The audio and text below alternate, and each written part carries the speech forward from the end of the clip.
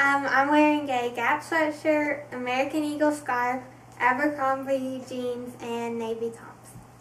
I'm wearing a gray cardigan from Abercrombie, a blue tank top with ruffles from Hollister, black Abercrombie jeggings, and my boots.